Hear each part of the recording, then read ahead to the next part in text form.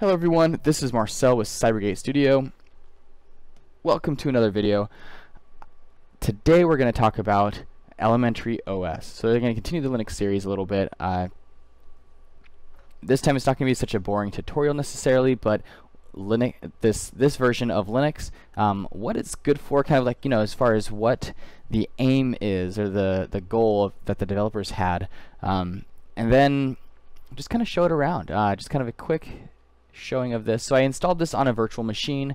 Um, so forgive uh, if there are any unusual errors. Um, I'll try to comment. If I see an error, I'll try to comment on whether or not it might be virtual machine related um, or otherwise.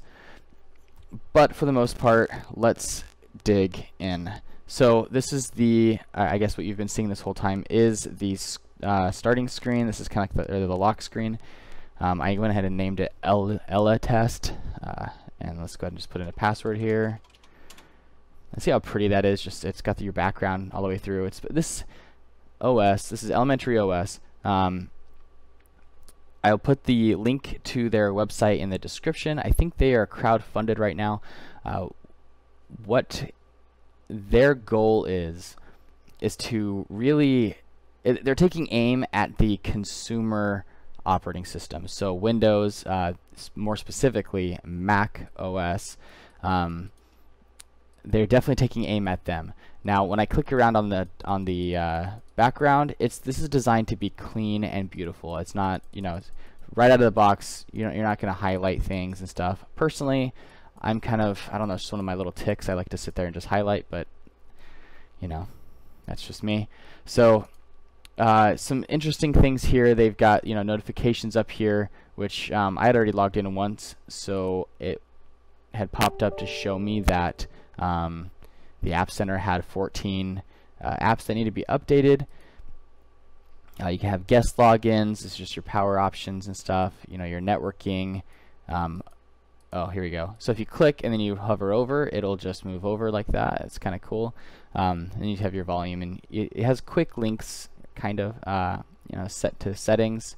So uh, each time you can see the different settings. I think that's really great. I love. I don't like it when you, uh, OS developers are hiding their settings out of the way. Um, I like to have that front and center so I can you know tweak the things that I want to tweak.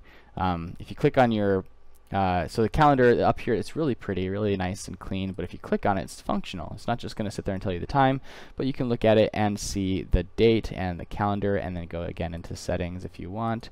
Um, I even be able to zoom out further. This, this is my first time playing with it. Nope, it's always just like that. Okay, so that's pretty cool. Uh, come up here to applications, and you have this almost... Uh, well, you have a list of applications, which is kind of cool. And you come up here and see a bit more of the GNOME style, um, I guess, organization, if that's what you're comfortable with, which is cool. Uh, you also have this dock down here, so you have like system settings, and it bounces just like it would in uh, Mac OS, and this should look familiar if you're into Linux or Mac. And so this it's got all your settings here. You can come through, check out your applications. It shows your defaults, uh, what things you want to start up. So you can go ahead and say, please start up. I wonder if you can start terminal. Oh, wait. Terminal. Yes, no, maybe. Yeah. All right, let's, let's see what happens if I do that. Well, I guess you can just retoggle it.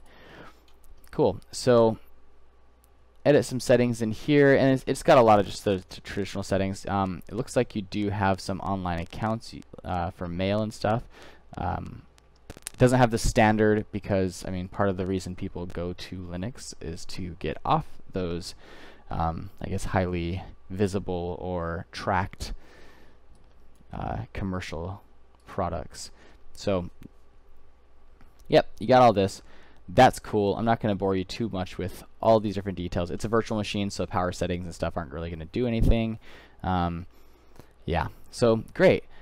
Um, you have things like the Photos app, which I don't, I guess I don't really know what it's going to do in, by default. There we go. So it's a little slow. Like I said, this is a virtual machine. I did not give it very many resources, so um, you know, get, get it, it, will take some time to load up, but otherwise this is a very snappy, very quick uh, uh, user interface and experience. You got you know import from folder, you got preferences. So this is this is looks very oh okay. So you can pull in from your different uh, online accounts, and that's pretty cool. You can establish plugins, and I'm sure there's a lot of content to be able to, or a lot of uh, you know third-party customization options to make this very much like iCloud and you know how the iPhotos or whatever you call that app for Apple. Um, just continuing through, you have multitasking view, so you can click on that, and when this VM loads it, okay, so now you have different desktop environments. That's fantastic. That's kind of, in my opinion, a staple of Linux. I, I've been using that since, well, I don't remember what version of Ubuntu had it a long time ago. Um, something I'm familiar with. I always think of Linux when I see those. Um, okay, so just your calendars. That's great. You know, you just, you, you just have your typical, a lot of Mac. Uh, I don't want to say copies, but you know, it's supposed to kind of mimic it a little bit. Um, kind of give make you feel at home so comment below let me know what you think so far of this uh, but also tell me are you interested in a video where like are, are really are you interested in um, this environment? Are you interested in Linux and uh, using it as your full desktop? Uh, so one thing I think is interesting is that up here is still visible. You can always still come up here and click on these different guys here. And that if you come down I imagine you can probably set it up to where the launcher pops back up the dock um, this is a virtual machine, so every time I come down here, it's actually going to uh, off the off the screen. Oh, there you go. There's the so it does hide it, which I think is very nice. It's like a quick select thing while you're in it, but that would really annoy me if that popped up while I was using applications. And then you have the App Store. The last thing I want to show you uh, while I'm here. I, so this entire environment is uh, based off of um, Debian Linux. Uh, I'm pretty sure, yeah, Debian Linux. So it's the same thing that uh, Ubuntu's and, Ubuntu and Linux Mint are based off of, and so this is just kind of just a different flavor. You know, it's just a different uh, uh look at it with some custom um, uh, skins on or custom applications that will run that makes it makes just makes you feel more familiar to. Um, it makes it feel more familiar to what you're used to. So let's come over here to Office. Uh, and it's got just it's just the just a software center, the software store. You got a bunch of different stuff in here you can put in here. Uh, let's see. So if you know specifically what you're looking for, you can do quick online searches for things. Um, if you're not sure what kind of Linux applications you should use, I think my there it goes. Um, if you're not sure what kind of things you sh you should use, you can always come up here Let's see if I can just search it real quick. So if I bring up Epiphany, the web browser, you can always search for, oh, hello. Yep, I'm see I'm using VNC, so it's starting this lag. I should have went ahead and done uh, watched use my other video to set up remote desktop into it. Um, so you can do things like uh, Linux application um, replacements or something. I don't know. But you, you mean there's a several different, there you go, Linux software equivalent to Windows. And so you can come through and be like, okay, Microsoft, Open Office, okay, uh, LibreOffice. Um, I forget which one is it, it is in, in Ubuntu. That's default now. But uh, if you're into Word, there's LaTeX, which is for those hardcore writers and stuff. You might be familiar with that. Um, yeah, so there's a bunch of really good uh, like Quicken, uh, TurboTax. You know, um, I have personally installed. Let's see, where is it?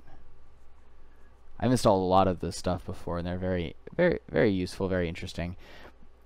Go ahead and uh, look at all this stuff. So that's kind of the fun part about Linux is you can just go ahead and look at all this stuff, do some apt-get, um, you know, install a bunch of these different softwares, try them out, uh, and it's it's light. Uh, it's usually light. Um, I'm not sure what the system requirements are for this. I guess we can look. Element. seriously. Let's just do this. Will that work? So it looks like if I VNC for too long, it starts getting really, really uh, laggy. I'm still kind of learning the ins and outs of, of the server solution I'm using. So, here we go. Element. Oh, there we go. Right there. So elementary.io is the website, and um, yep, they're crowdfunding. Hooray! You can just download it. It's free. Uh, you can just tell it that you don't want to pay for anything. Otherwise, you can pay for yourself. Um, they ship with these very carefully. So, like they're saying, it's these these things are meant for you to feel more uh, at home, but it also doesn't bloat with a whole bunch of extra crap.